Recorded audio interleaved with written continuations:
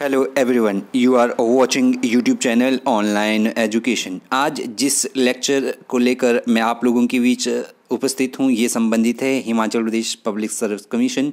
Himachal Pradesh public service commission ने आज college cadre के लिए असिस्टेंट प्रोफेसर म्यूज़िक इंस्ट्रूमेंटल का एग्ज़ाम कंडक्ट किया गया, जो हिमाचल में शिमला के विभिन्न परीक्षा केंद्रों में हुआ। तो इस टेस्ट का, जो ये टेस्ट आज चौबीस ग्यारह दो हज़ार बाईस को हुआ, कॉलेज कैडर म्यूज़िक इंस्ट्रूमेंटल का, इसका grammar, Hindi grammar, English grammar G K H P जी के और जनरल नॉलेज का जो पोर्शन है, वो मैं आप लोगों के बीच प्रस्तुत कर रहा हूँ। यदि आप चैनल पर नए हैं या पिछले कॉलेज कैडर पेपर के जितने भी अभी तक एग्ज़ाम हुए हैं, उनका जो है एच के ग्रामर, हिंदी पोर्शन देखने के लिए आप मेरे चैनल के जो है इस लिंक डिस्क्रिप्शन से आप वीडियोज़ को देख सकते हैं। साथ ही आप पीडीएफ के लिए मेरा टेलीग्राम चैनल ज्वाइन कर सकते हैं, जो आपको इस वीडियो के लिंक डिस्क्रिप्शन में मिल जाएगा। और साथ में ही इसकी आंसर की आपको वीडियो के लिंक डिस्क्रिप्शन में मिल जाएगी। और साथ ही इसकी जो आंसर की है, वो कल एचपीपीएससी रिलीज़ करेगा तो वो आपको मेरे टेलीग्राम चैनल पर मिल जाएगी। तो इस वीडियो का का मुख्य उद्देश्य उन जो एस्पिरेंट्स है, जो तैयारियाँ कर रहे हैं, उनको एक प्लेटफॉर्म प्रदान करना है कि किस तरीके के प्रश्न आ रहे हैं।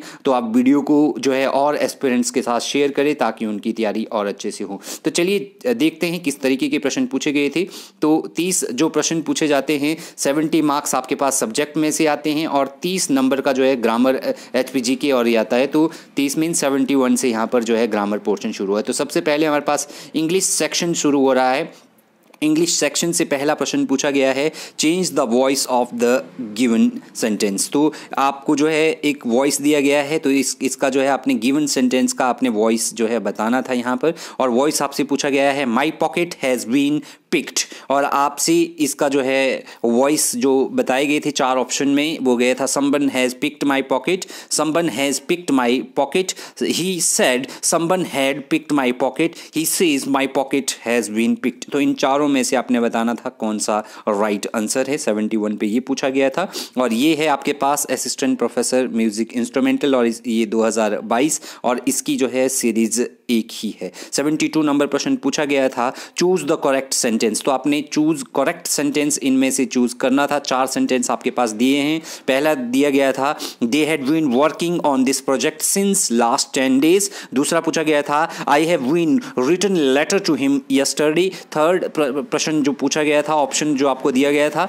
Madhu haven't attend the office yesterday और चौथा पूछा गया था when I left this morning the sun had already risen तो इन चार में से आपने बताना था कि कौन सा करेक्ट सेंटेंस यहाँ पर है।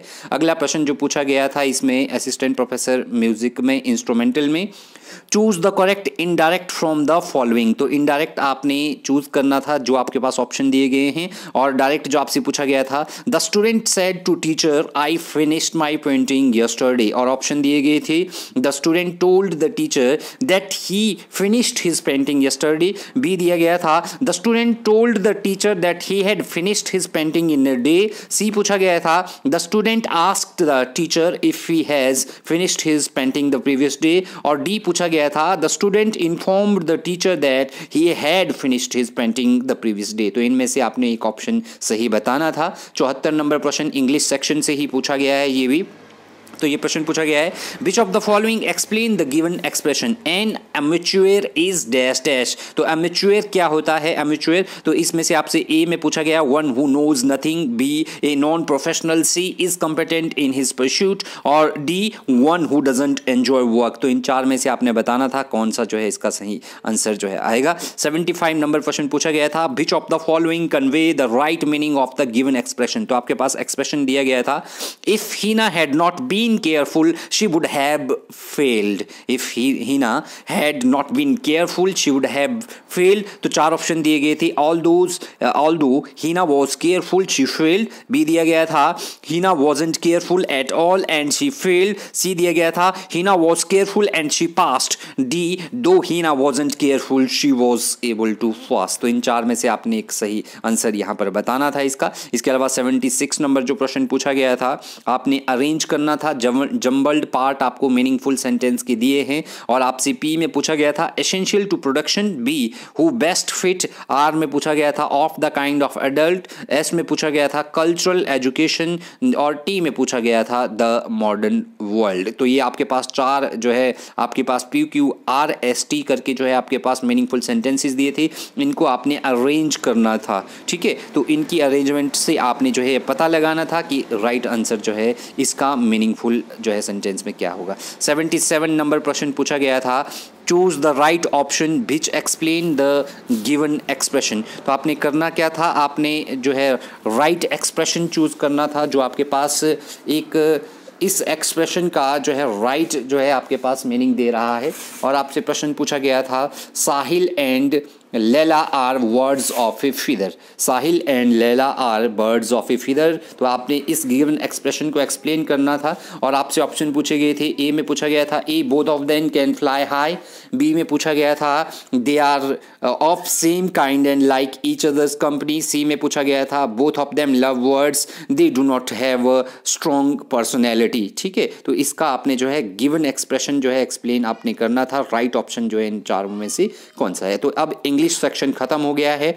अब आपसे जो है हिंदी सेक्शन पूछा जा रहा है। हिंदी सेक्शन से जो है आपसे प्रश्न पूछे जा रहे हैं। तो हिंदी सेक्शन में जो पहला प्रश्न पूछा गया था सेवेंटी में उस जगह एक सभा होने जा रही है। इस वाक्य में उस जगह कारक किस भेद का उदाहरण है? उस जगह एक सभा होने जा रही है। इस वाक्य में उस जगह जो कारक है वो किस भेद का उदाहरण है? क्या ये करण जो है कारक है? क्या ये आपादान कारक है?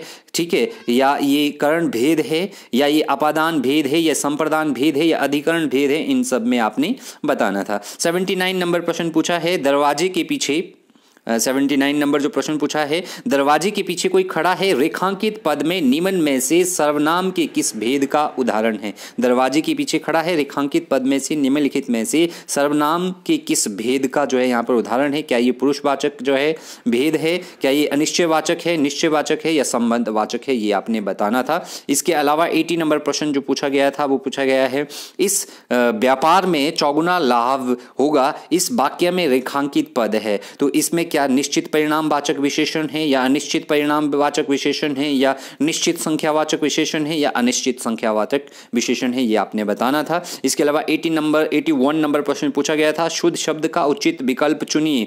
तो शुद्ध शब्द जो है आपको यहाँ पर बताना था, क्या जीजी विषा ये शुद्ध शब्द है, जीजी विषा क्या ये शुद्ध शब्द है, क्या जीजी विषा ये शुद्ध शब्द है, या जीजी विषा ये जो है शुद्ध शब्द है, इन चार में से आपने बताना था। एटी नंबर प्रश्न पूछा गया था, निम्नलिखित वाक्य में उद्देश्य चुनिए, महात्मा जी के दिव्य वचन सुनकर मैं मंत्र मुग्ध हो गया। ठीक है तो यहाँ पर आपने जो है वाक्य में उद्देश्य को चुनना था।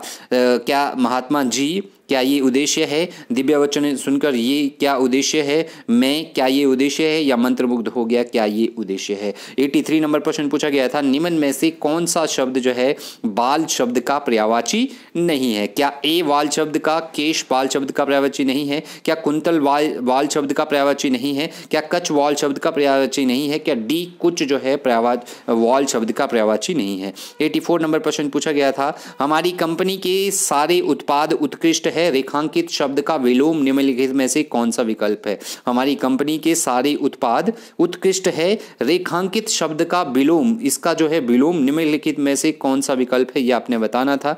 ए है निकृष्ट, बी है आकृष्ट, सी है अपकृष्ट और डी है घटिया। तो इनमें से आपने बताना था, निकृष्ट, आकृष्ट, अपकृष्ट और घटिया में से कौन सा सही है? ठीक है, उत्कृष्ट जो है उत्पाद है। 85 नंबर अब हम आ रहे हैं एच पी जी के की तरफ़। एच पी जी के में जो आपसे पहला प्रश्न पूछा गया था एच पी जी के में पूछा गया था which of the following is correct latitudinal range over sub tropical region of Himachal Pradesh Himachal Pradesh के उष्ण कटिबंधीय क्षेत्रों की ऊंचाई, पंक्ति नियमन में से कौन सी सही है? ऑप्शन आपके पास दिए थे 1200 से 2100 मीटर 1100 से 1900 मीटर 950 से 1900 मीटर या 700 से 2000 मीटर। 86 नंबर प्रश्न पूछा गया था आपसे। ये पूछा गया था कि हिमाचल प्रदेश में किस ज़िले की सीमाओं पर हिमाचल प्रदेश के सबसे अधिक ज़िले हैं? तो हिमाचल प्रदेश के किस ज़िले की सीमाओं पर सबसे अधिक ज़िले हैं? क्या ये सिरमौर में है? क्या ये मंडी में है? क्या ये ऊना में है? या हमीरपुर में है? इनमें से आपने एक राइट बताना था। और 87 नंबर प्रश्न पूछा गया था identify from the following correct location of Kasol Himachal Pradesh तो जो कसोल हिमाचल प्रदेश है, मणिकर्ण, जो है वैली है पार्वती वैली उसमें है कुल्लू ज़िले में। तो इसकी जो है आपने करेक्ट लोकेशन बतानी थी। It is on the bank of Sutlej river it is it is on the bank of Giri river it is on the bank of Parvati river it is on the bank of Baspa जो है river तो ये Parvati river के bank के किनारे हैं। ये यहाँ पर इसका राइट आंसर होगा कसोल के बारे में। ठीक है? हिमाचल प्रदेश के जो है स्थान का आपने जो निर्धारण बताना था 87 नंबर ये पूछा गया था कि हिमाचल प्रदेश के कसोल के सही स्थान का निर्धारण, ये पार्वती नदी के किनारे हैं, ये आपने बताना था यहाँ पर। ठीक है 88 नंबर प्रश्न पूछा गया था कि अगस्त 1931 में तीन सप्ताहों के लिए डिप्टी कमिश्नर तथा शिमला हिल स्टेट्स का सुपरिटेंडेंट निमन में से किसे पुनः नियुक्त किया गया था? ठीक है which was renamed as deputy commissioner and superintendent of police of Shimla hill states for about three weeks in August 1931 और ऑप्शन थ्री ठाकुर ललित चंद मियाँ दुर्गा सिंह, ठाकुर सूरत सिंह, धर्मदास। इनमें से आपने आंसर बताना था। 89 नंबर प्रश्न पूछा गया था हिमाचल प्रदेश आर्थिक सर्वेक्षण 2020-21 के अनुसार निम्न में से किसे जो है सबसे अधिक राशि निर्धारित की गई? ठीक है तो इसमें से आपसे बताना था, क्या बागवानी के लिए अधिक की गई, कृषि के लिए, या बनखंड या प्राकृतिक क्षेत्रों के लिए, या पशुपालन के लिए सर्वाधिक राशि निर्धारित की गई थी 2020-21 के सर्वेक्षण में? ठीक है नाइन्टी नंबर प्रश्न पूछा था, मुख्यमंत्री निशुल्क दवाई योजना के अंतर्गत वर्ष 2022 में हिमाचल प्रदेश के कमज़ोर वर्गों की गंभीर बीमारियों से दुख झेल रहे व्यक्तियों को प्रति माह कितनी वित्तीय सहायता प्रदान की जाती है? तो ऑप्शन थे आपके पास पाँच हज़ार रुपये पैंतालीस सौ रुपये पच्चीस सौ रुपये या तीन हज़ार रुपये यदि कोई व्यक्ति गंभीर बीमारी से जूझ रहा है तो मुख्यमंत्री जो है योजना के तहत निःशुल्क जो दवाई उनको कितनी दी जाती है? नाइन्टी नंबर प्रश्न पूछा गया था, हिमाचल प्रदेश के किस कलाकार ने कांगड़ा ब्राइड का चित्रण किया गया है। ठीक है, हिमाचल प्रदेश के किस कलाकार ने, प्रश्न पूछा गया था, हिमाचल प्रदेश के किस कलाकार ने कांगड़ा ब्राइड का चित्रण किया है? तो ये आपके पास ऑप्शन है, नोरा रिचर्ड, अमृता शेरिगल, शोभा सिंह या निकोलस रोरिच, जो है कांगड़ा ब्राइड का चित्र किसने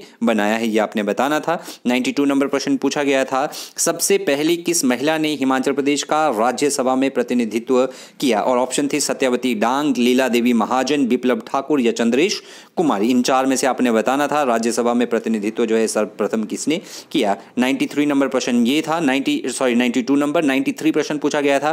किस पंचवर्षीय योजना ने 9 प्रतिशत तथा इसके अंत तक 10 प्रतिशत विकास दर बढ़ाने का लक्ष्य निश्चित किया? ये कौन सी पंचवर्षीय योजना थी? क्या ये पांचवी पंचवर्षीय योजना थी, छठी पंचवर्षीय योजना थी, आठवीं पंचवर्षीय योजना थी या ग्यारहवीं पंचवर्षीय योजना थी? ठीक है 94 नंबर प्रश्न पूछा गया था, किस वर्ष भारत सरकार ने अनुसूचित जातियों के लिए वेंचर कैपिटल फंड जोखिम पूंजी कोष स्थापित किया। किस वर्ष भारत सरकार ने अनुसूचित जातियों के लिए वेंचर कैपिटल फंड स्थापित किया? क्या यह 2013 में स्थापित किया गया 2014 में किया गया 15 में किया गया या 16 में किया गया? ठीक है, अगला जो प्रश्न पूछा गया था 95 नंबर प्रश्न पूछा गया था, एचपी जीके से नहीं, अब ये नेशनल जीके पे आ गया है। भारत के किस राज्य में ईचागढ़ पक्षी विहार स्थापित किया गया है? Of the which following states of India Ichagarh world sanctuary is located और ऑप्शन थे आपके पास, झारखंड, उत्तराखंड, महाराष्ट्र, त्रिपुरा। पूरा जो है इनमें से कहाँ स्थापित किया गया है इस बर्ड सेंचुरी को। नाइन्टी सिक्स नंबर प्रश्न पूछा गया था। 1946 के कैबिनेट मिशन द्वारा भारत के कितने भागों भारत के कितने भाग बनाने की योजना तैयार की गई थी? How many section of India's India work conceived by the cabinet mission plan 1946 option थे पाँच बी दो सी चार डी तीन। तो इनमें से आपने आंसर बताना था। इसके अलावा 97 नंबर प्रश्न पूछा गया था। थर्टी फ़र्स्ट पैरल लाइन किन देशों की सीमा है? Thirty first parallel line is the border between क्या ये यूएसए और कनाडा के बीच है? क्या ये ईरान और इराक के बीच है? क्या ये मिस्र और सूडान के बीच है? क्या ये जर्मनी तथा फ्रांस के बीच है? थर्टी फ़र्स्ट जो है, इसके बारे में आपने बताना था। 98 नंबर प्रश्न पूछा था, यूरोपियन यूनियन के कितने सदस्य देश यूरो, राज्य का, यूरो का एकमात्र राजकीय मुद्रा का उपयोग करते हैं? How many members country of European Union use euro as the sole official currency तो 98 में आपके पास चार ऑप्शन थे ए सोलह बी इक्कीस सी उन्नीस डी तेईस। इन चार में से आपने बताना था। 99 नंबर प्रश्न पूछा गया था, निम्न में से कौन सा नगर विश्व के रहने योग्य दस शीर्ष नगरों की सूची में आता है? ग्लोबल लाइवल जो है इंडेक्स दो हज़ार बाईस के अकॉर्डिंग जो है, निम्न में से कौन सा विश्व का नगर जो है, रहने योग्य दस जो है, शीर्ष नगरों की सूची में आता है? क्या ये ओसाका है? क्या ये लंदन है? क्या ये वॉशिंगटन है? क्या ये ऑकलैंड है? इनमें से आपने बताना था। इंटरनेशनल जी के यहाँ से आपसे पूछा गया है। लास्ट प्रश्न भी आपके पास इंटरनेशनल सॉरी जी के से ही है। निम्न में से कौन विश्व दमा अस्थमा दिवस है? तो आपने बताना था which of the following is the world asthma day क्या ये फरवरी एट को मनाया जाता है? क्या ये तीन मई को मनाया जाता है? क्या ये सात मई को मनाया जाता है? क्या ये पाँच फरवरी को मनाया जाता है। तो थैंक यू वेरी मच इस तरीके की और क्वेश्चन पेपर के लिए आप मेरे चैनल को ज्वाइन करें सब्सक्राइब करें। Thank you very much